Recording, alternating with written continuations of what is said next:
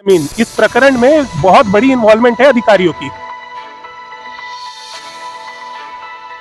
जिसको जो करना है, जिस तरह का एक्शन लेना है, ले ले, लेकिन जो सच्चाई है रजिस्ट्री हुई इसको तत्काल जो है निरस्त किया जाए। तो ये जो अधिकारी है ना, अपनी अगर ये हरकतों से बाज आ जाए ना, वो कैजुअलिटी 90 परसेंट कम की जा सकती है। वो माफिया की जो है हिम्मत हुई कि मेरी ज़मीन जो मैं खरीद चुका हूँ, उसको वो लिखवा रहा है, कल के डेट में मुझे कहीं गोली गोली मार दी जाएगी। जय हिंद साथियों, मैं जाबिर शेख परहारी मुंबई से। और इस वक्त अगर आप देखेंगे तो मेरे पीछे लालगंज तहसील है और हम तहसील प्रगण में खड़े हैं और हमारे साथ में एक भाई साहब खड़े हैं। जिस तरीके से उत्तर प्रदेश के मुखिया योगी आदित्यनाथ बार बार ये कहते हैं कि उत्तर प्रदेश भ्रष्टाचार मुक्त किया जाएगा। लेकिन वहीं पर इससे पहले भी अगर आप देखेंगे तो कई बार ऐसा हुआ है कि लालगंज तहसील क्षेत्र के अंदर कई ऐसे बड़े बड़े स्कैन हुए हैं जिसको हमने ओपन भी किया। और जैसा अभी हमारे साथ में एक भाई साहब खड़े हैं और ये उस पिता के बेटे हैं, जो पिता एयरफोर्स में, भारतीय वायुसेना में काम करता है देश की रक्षा के लिए। लेकिन अफसोस, सदा अफसोस कि जो पिता देश की सेना में रक्षा के लिए काम कर रहा है, आज उसी का बेटा तहसील के अंदर न्याय के लिए दर दर भटक रहा है और वो भी एक ऐसा स्कैन कि आप सुनेंगे तो आपके रोंगटे खड़े हो जाएँगे। हम इन्हीं की जबानी वो पूरा मसला क्या है सुनाते हैं और ये सारे दस्तावेज़ भी है। आपका शुभ नाम क्या है भाई साहब? संजीव सिंह। संजीव सिंह। आइए धूप में मत आइए थोड़ा छाव में आ जाइए। जी, जी जी, जी। आपका घर कहाँ पड़ेगा जी? गाँव मेरा चुटेरा पड़ता है। ये आपका लालगंज तहसील में एक गाँव है। जी। जी थाना जो है महनाजपुर आता है अंतर्गत। अच्छा क्या मसला क्या है? आप जो इतना ये सारे दस्तावेज़ देखिए हैं? मैटर क्या है कि 2012 में हमारी दादी के नाम से एक ज़मीन बैनामा कराई गई थी। तो वो ज़मीन पे हम अ, 2013 में दाखिल खारिज हो गई। आज तक हम काबिज हैं। अभी मेरे को अच्छा आपका नाम चढ़ गया उस पर चढ़ गया। दादी का नाम हमारी दुर्गावती देवी है उनका नाम चढ़ गया था उस जी। पे ये मेरे पास वो आदेश की कॉपी भी है। जी। ये आपका दाखिल खारिज के बाद ये खतौनी में चढ़ा हुआ है।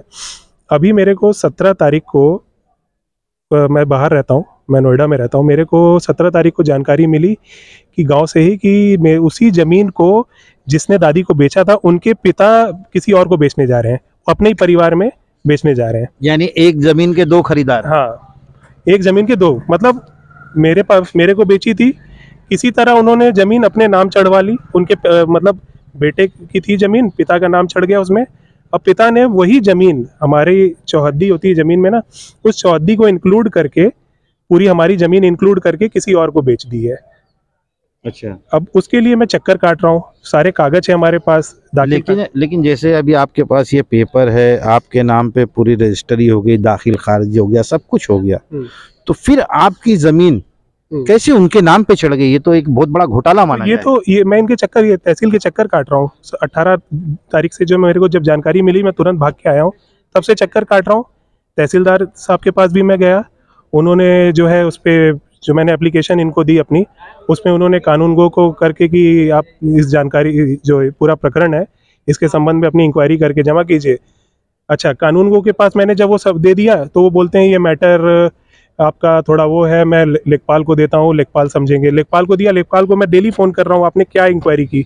कोई जानकारी ही नहीं बोल सीधे जवाब आ रहा है हम कुछ इसमें समझ ही नहीं पा रहे हैं क्या है मैटर यानी आपको ऐसा जलेबी के जैसा गोल गोल गोल गोल घुमाया जा रहा है। बिल्कुल बिल्कुल बिल्कुल जलेबी की तरह घुमा रहे हैं अभी तक मेरे साथ कोई इंसाफ इसमें भी नहीं हो पाया है। अब क्या है मतलब जिसको जब जिस ज़मीन बेची उसको फ़ोन कर रहा हूँ वो फ़ोन नहीं उठा रहा है ठीक है? पिता पिचासी साल का जिसने वो लिखी है पिता ने वो पिचासी साल का आदमी उसको बोलना भाई बोला वो सीधे जवाब आ रहा है मैंने लिख दिया है आपको जो करना आप कीजिए। सीधे ये जवाब आ रहा है। नहीं नहीं, ऐसा कैसा? भाई जब आपने मुझे ज़मीन बेची हम्म। मैंने आपको पैसा दिया आपने मुझे ज़मीन बेची और मेरी बात सुन लीजिए उसके बाद यहाँ तहसील में दाखिल खारिज हुआ आपका नाम चढ़ा। तो जब आपका नाम चढ़ गया तो उस पर फिर किसी दूसरे का नाम चढ़ने का मतलब ये होता है कि तहसील के अधिकारी भ्रष्ट हैं। ये तो इनकी जवाबदेही बनती है ना। मैं क्यों चक्कर काट रहा हूँ? इनको जवाब देना चाहिए। बराबर इसके जवाबदार तहसीलदार और एसडीएम होते हैं। बिल्कुल लेकिन वो दौड़ाए उनके चक्कर में मैं दौड़ रहा हूँ। बिना मतलब के कितने पैसे मैंने खर्च कर दिए और कितने करने पड़ेंगे मुझे क्योंकि ये जवाब नहीं देंगे सीधे। सच्चाई बता रहा हूँ मैं आपको ये जवाब नहीं देने वाले ये हर जगह से भागने वाले हैं। तो इन, आ- आप आपको मैं बता रहा हूँ मैं एक साल से जो है इस ज़मीन के प्रकरण में मेरी तैतीस साल उम्र है मेरी इस ज़मीन के प्रकरण केवल ये ज़मीन नहीं अभी एक रिसेंटली एक मैटर और हुआ जिसमें मेरी मेरे घर की बाउंड्री वॉल को गिरा दिया गया। बिना नोटिस के बिना जानकारी के घर पे कोई मौजूद नहीं था। तहसीलदार लालगंज वहाँ गए हैं। गए हैं ज़मीन मेरी बोनों ने बाउंड्री वॉल गिरा दी है। जबकि खुद के एरिया में कंस्ट्रक्ट हमारी जो जैसे अराजी होती है उसमें कंस्ट्रक्ट की हुई उसको गिरा दी। आज तक उसका इंसाफ नहीं हुआ है। आज तक नहीं हुआ है ये अगर अगर जैसे जो बाउंड्री अगर गलत भी है तो नियम तो ये है कि पहले सामने वाले को नोटिस दी कोई नोटिस नहीं है कोई नोटिस नहीं है। ये दिखा करके सामने वाले आदमी- इधर थोड़ा छांव में हाँ। धूप में मत सामने वाले आदमी को, को रास्ता रोक रहे हैं। तो मतलब रास्ता रोक रहे हैं आपके प्रेमिसेस में आपने अपनी ज़मीन में बनाया है। रास्ता रोकने के नाम पर आप जो है अच्छा उसके पास उसने आबादी और नवीन परती में कब्जा कर रखा है। जिसको ये रास्ता दे रहे हैं उसका आबाद आबादी में भी है और नवीन परती भी है सामने। उसने कब्जा करके रखा है। इनको मैंने मतलब इन्होंने जब मैंने ये सारी चीज़ें सीएम पोर्टल पे आईजीआरएस पे डाली तो अपने को बचाने के लिए इन्होंने क्या किया? तहसीलदार साहब उस समय के थे। उन्होंने क्या किया कि नवीन परती में जिनका कंस्ट्रक्शन था, मेरे आगे बढ़ने के बाद उन्होंने फिर उनके खिलाफ में जो है सिक्सटी सेवन वन की कार्रवाई कर दी। आज साल भर हो चुका है, साल। आज आज ही के दिन किया था। एक साल हो गया है, कोई कार्रवाई नहीं हुई। मैंने पीआईएल तक दाखिल की। पीआईएल पे इनको तीन महीने का टाइम बाउंड किया था, आज पांचवा महीना है।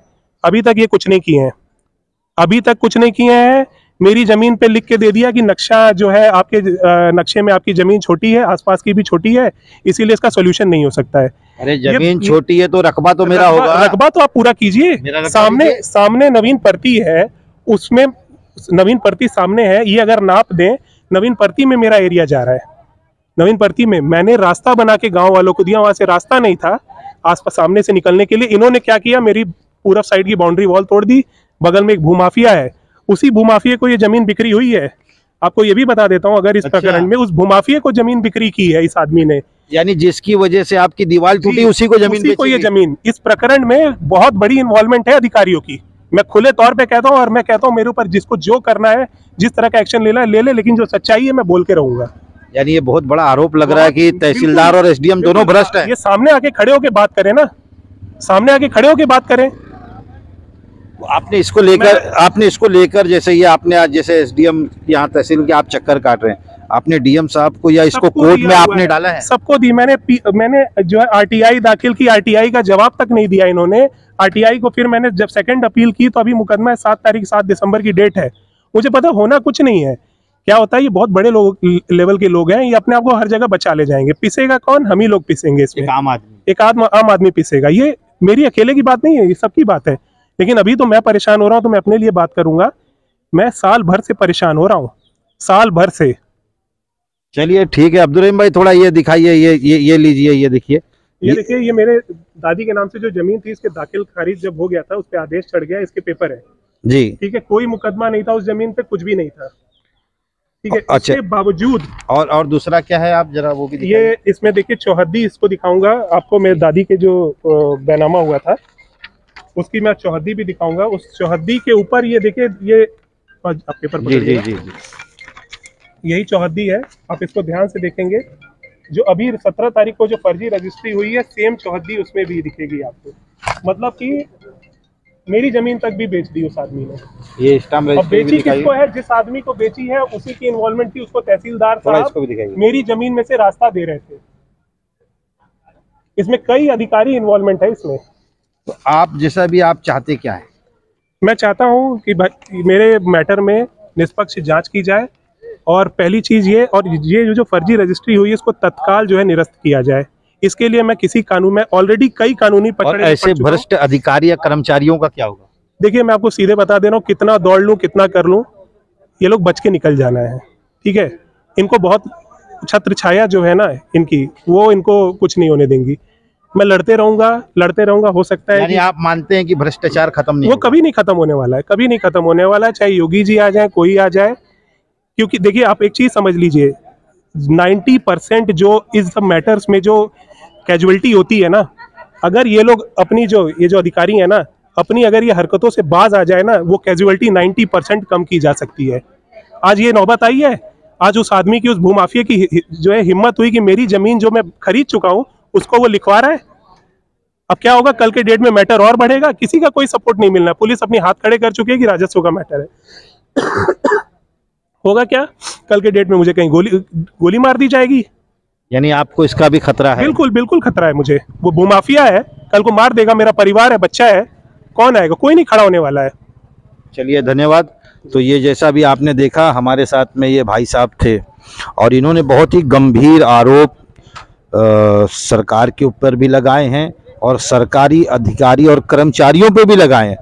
लेकिन वही ताज्जुब की बात यह है कि जिस भू माफिया को लेकर इनकी बाउंड्री तोड़ी गई उसी भू माफिया को वो ज़मीन बेची गई अनलीगल तरीके से, और जिस तरीके से चोरी छुपे रजिस्ट्री की गई, ये भी अपने आप में बहुत बड़ा स्कैन है।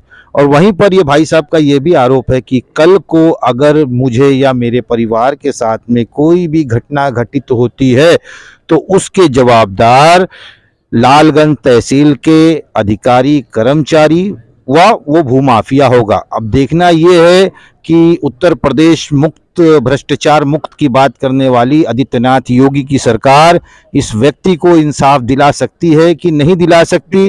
जी जी जी बताएँ। ये इंसाफ मेरा नहीं मेरे पिताजी इंडियन एयरफोर्स में है ठीक है? वो अपनी ड्यूटी कर रहे हैं। आज अगर वो चाहे होते तो ऊपर से कई जगह सोर्स लगा के ये लगा के इस मैटर में लेकिन ईमानदारी से वो आदमी अपनी ड्यूटी कर रहा है। उस ईमानदारी का सिला ये हो रहा है कि साल भर से आप भूमि के प्रकरण में बस चक्कर काट रहा हूँ मैं। चलिए।